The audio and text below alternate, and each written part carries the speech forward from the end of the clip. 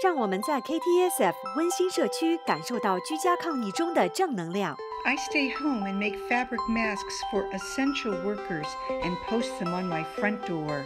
I'm happy that the delivery person who came to my home took the masks. I want to encourage other people who know how to sew to do the same thing. Thank you. 我们互相勉励，互相支持。KTSF 二十六台与大家一起携手抗疫。